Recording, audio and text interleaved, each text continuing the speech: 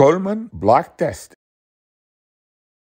The test is designed to test the flexibility of the hind foot in a patient with cavovarus foot deformity.